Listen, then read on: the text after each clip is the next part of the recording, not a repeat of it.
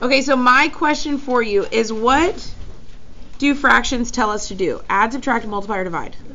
Divide. So if we know fractions are division, can I rewrite this as division? Yes. Okay, so the top fraction, I could put the division symbol. I could take this bottom fraction and just move it up. Now I crossed this one out because I don't want you to think it's in both places. I moved it. Yes? It's not in the bottom anymore, it's on the side. So now, how would I solve this? The same, yeah. We we know we have to factor any piece that factors. What's the only piece that factors? Which piece? The x squared minus 4, right? Okay, the other three pieces don't. And what do I have to do because it's division? I need to flip it and multiply. So let's rewrite the first fraction. I have x plus 2 over, how would I factor that denominator? Well, it's a perfect square minus a perfect square, so I know x times x is x squared, right? And what times what is 4? 2 times 2, so this becomes x minus 2x plus 2. I'm going to change it to multiplication because anytime we have division, don't we change it to multiplication? Mm-hmm. And what do we do when we change it to multiplication? Flip it. A lot of people were changing it to multiplication and forgetting to flip it. Wild animals up there. I do not know. Okay, so once I flip it, I cross out what matches. What matches? The x plus 2, x plus 2, x minus 2, x minus 2. So what's my final answer? Is it x? 1 over x. Because where is that x? At the bottom. So that x has to stay on the bottom. And I can't have an empty top, so I put a 1. And my answer is 1 over x. Be careful because if your answer, what's left is in the bottom, it does have to stay there. Because if I say 2, is that the same as 1 half? No, if the 2's in the bottom, it's very different. $2 is different than half of a dollar. Okay, I'd rather have $2.50, right? Okay, so because they're different. Any questions with that one? Okay, example two, we're not going to go all the way through it. We're just going to talk about setting it up, but it's it gets repetitive and we're going to set up we're going to go all the way through the other ones. Um, so I just want to talk about setting it up. What's different on this one? We do. And is this a fraction? No. And I need it to be a fraction. So how would I make it a fraction? Yeah, just put it over 1. So when I rewrite it as division, I get x plus 3 over 1. And then to solve, I would rewrite the first one, I would factor it, which we're not going to do, change it to multiplication, and flip. Now, we would keep going, but we're not going to because we're not going to solve that one. Does that make sense? Do you understand the process on that one, though? Okay.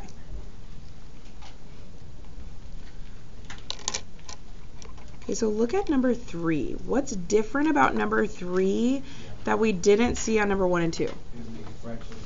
Yeah, we don't have a single fraction over a single fraction. And that was literally the first rule. If we look back at the steps, it says make it one nice happy fraction on top, one nice happy fraction on bottom. Okay? We almost want to treat them like they're separate problems until we have our fractions. So, I'm going to get a sticky note. Maybe. Goodness. Crickets.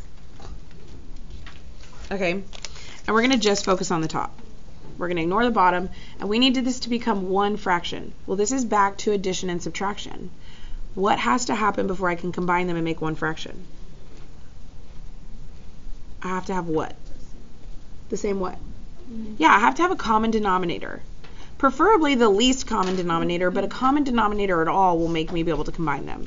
So if this is 7, what do I want this denominator to be? 7. And if nothing's there, if I put a 7 in the bottom, as long as I multiply the top by 7 too, it's still equal. Because technically I could cross those 7s out and I still have x, right? So now I can rewrite this as 7x minus x over 7. Well, does that simplify? Yes. What would it simplify to?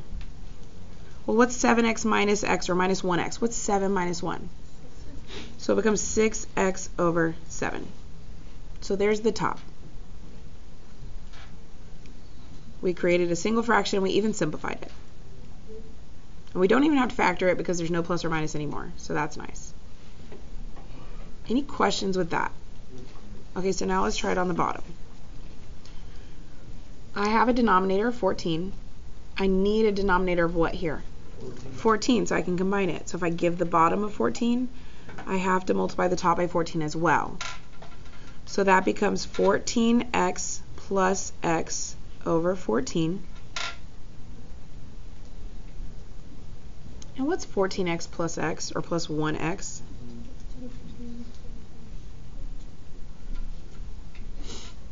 And so there we have it. So we have a single fraction over a single fraction.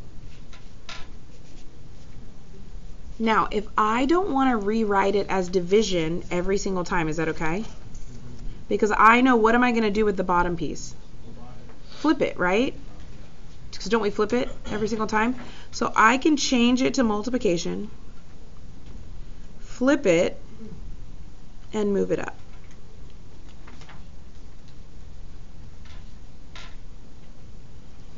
Because if I just move it up, I have to keep it as division. But we don't want to divide, we want to multiply, right? So to change it to multiplication, I also have to flip it. So I'm kind of skipping a step because I know none of us want to keep, keep rewriting these over and over and over again, right? Okay, so now how would I simplify this? What cancels? Well, don't the x's cancel? And then from there, is it just a calculator problem? Yeah, because all that's left is numbers. And I can type it as a single fraction, alpha y equals enter. I have 6 times 14 on top over 7 times 15, and that equals 4 over 5.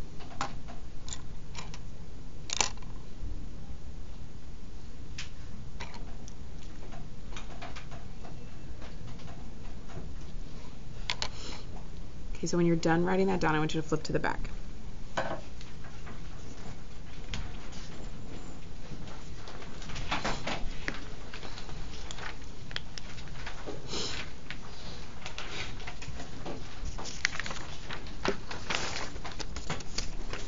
So same steps. We want this to be a single fraction. So if I have a denominator of x here and these don't have a denominator at all, what do I want all the denominators to be? x, because I don't want to change them if I don't have to. So if I put an x on bottom, I also have to put an x on top. x on bottom, x on top. Do they all have x in the denominator now? So when I rewrite it, I have a single denominator of x. Well, what's 3x times x? 3x squared. Negative 5 times x is just negative 5x. And then the 2 I didn't change, so it's just minus 2.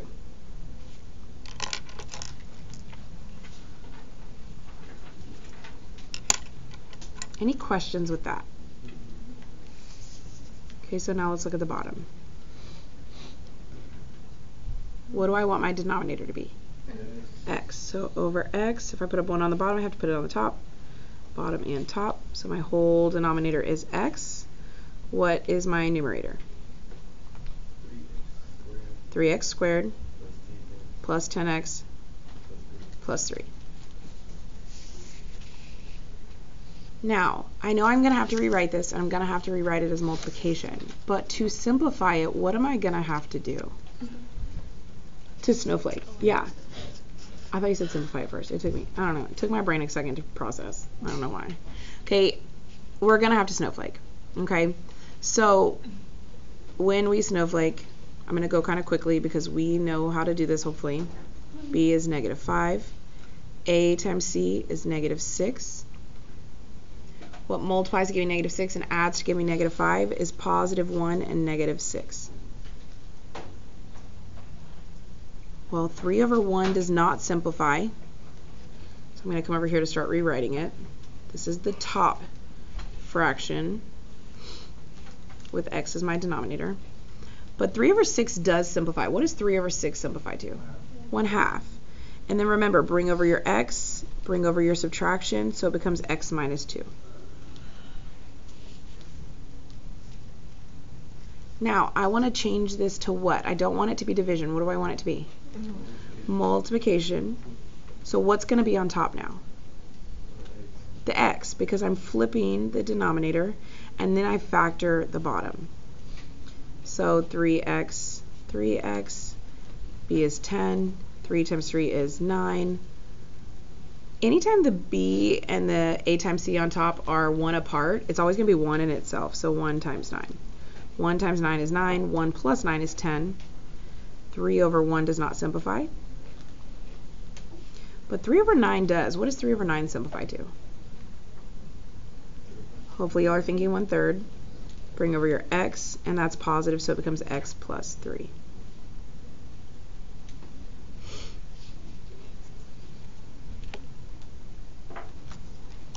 So what cancels?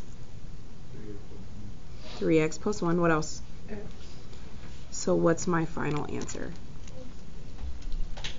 x minus 2 over x plus 3. Y'all are exactly right.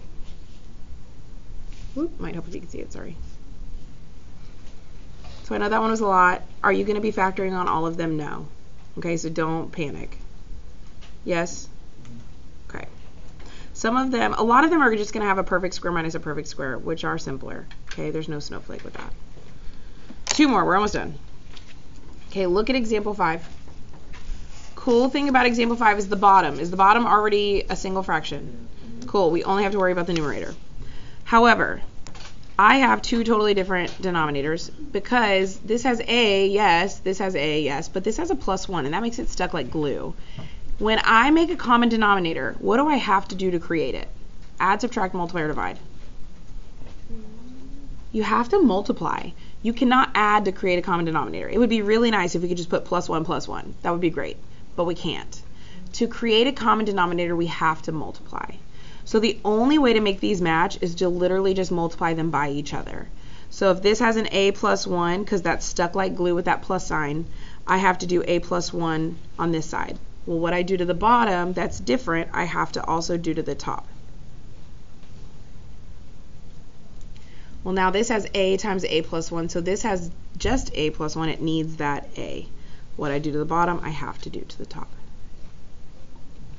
So now they have a common denominator of a parentheses a plus 1. Now, do we want to rewrite this a billion times as we simplify the numerator? Do y'all remember when we were doing the adding and subtracting unit and I was separating, like I was writing the simplify, I was simplifying the numerator separate and then putting it together? Because we don't want to rewrite as we simplify over and over and over again. Do y'all remember what I'm talking about? Y'all are looking at me like y'all know exactly what I'm talking about. Okay, when we were doing adding and subtracting, do you remember I would bring the numerator down, simplify it, then put it together? Because do we want to really rewrite the fraction every single time we simplify? No, because that would have been us rewriting it four, five times. We don't want to rewrite the fraction five times if we don't have to. Okay, so that's what I'm saying. So I'm going to simplify the numerator. So I have 1 times a, or a times 1, which is just a. I have a minus in the middle. And then I have 1 times a plus 1, which is just a plus 1. So I'm just simplifying my numerator. Well, what do I have to do here?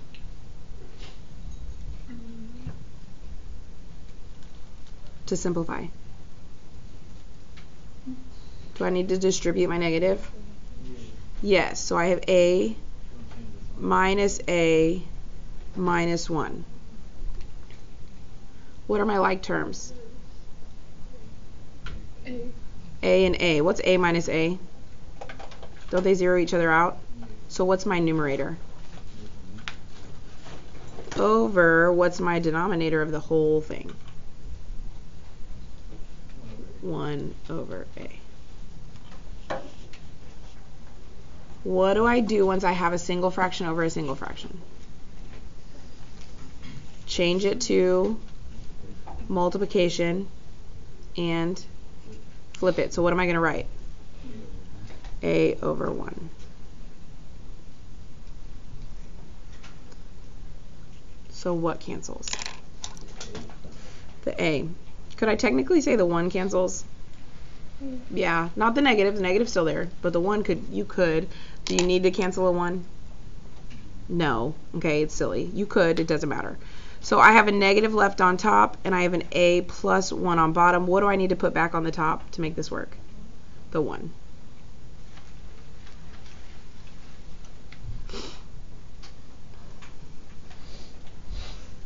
If you left your a plus 1 in parentheses, is that okay?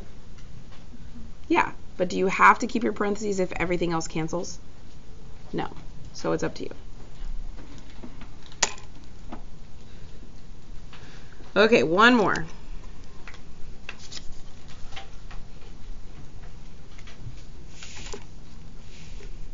Okay, this one is not as bad as it looks. If you look at the bottom, I'm writing something down at the very, very bottom. Okay, do y'all remember when we were doing laws of exponents, if we had like r to the negative 2 xy over z, what would we do with that r? We would move it to the bottom and it would become r to the positive 2 and cancel the one on the top, right? Okay, this is similar to that, but not exact. Because the difference is, did we have plus and minus here? No. Okay, we do, on example 6, have plus and minus signs. So that is how it creates the fraction over the fraction in a fraction. Okay, so we need to look at this as one piece at a time. So we're just looking at the top. I have this whole thing to the negative x power, or the negative 1 power. So I need to make a fraction, and I need to move it to the bottom. Okay, and it becomes 2x to the positive 1 power, and that cancels. Do I have to write a positive 1 power? No. So this equals 2x on the bottom plus 1. What do I put on top to make this work? 1. Now, the reason I could not just move this whole piece to the bottom of this fraction was because of that plus sign. That plus sign makes this stuck like glue, but the plus sign, does it have a negative one? So could I move the whole thing to the bottom? That's why we had to create its own fraction on top. Because this one can't move and they are stuck like glue. Okay? That's what makes this a complex fraction. So now, what would my common denominator be? 2x. So if I give this one a 2x at the bottom, I also have to give it at the top. So my numerator becomes 1 plus 1 times 2x, which is just 2x. And how do I rewrite that?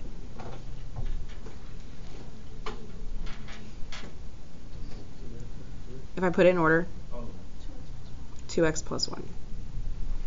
The nice thing is when there's plus signs, we just flip-flop it, nothing changes. Any questions with the top?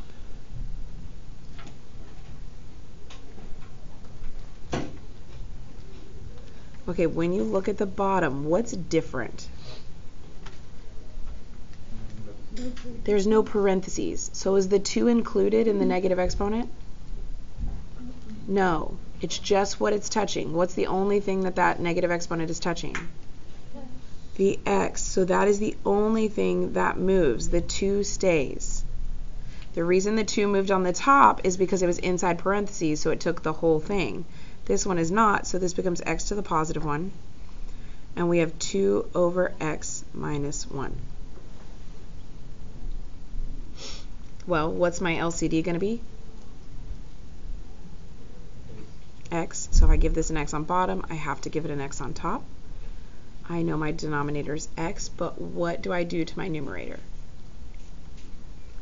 Well, when I write it together, it becomes 2 minus 1x. Is that in order? So when I put it in order, what do I need to do? Negative 1x or just negative x plus 2. And what's wrong with it now? Take out the negative and they become opposite opposite. So positive, negative. So we just factored it and put it there so we don't have to do any more things other than reset it up and cancel.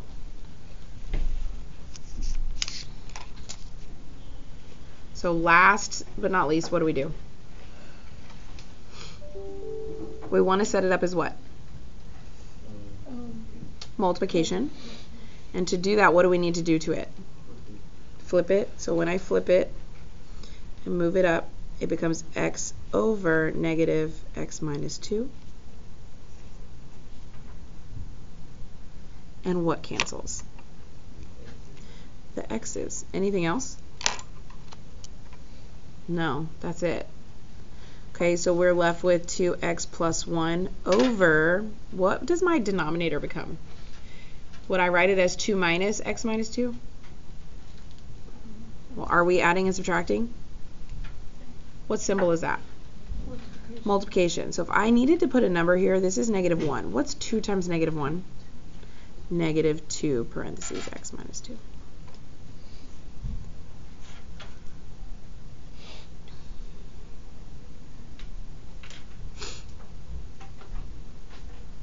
Okay, so this is what you're working on. If you have questions, you can ask. Mm-hmm.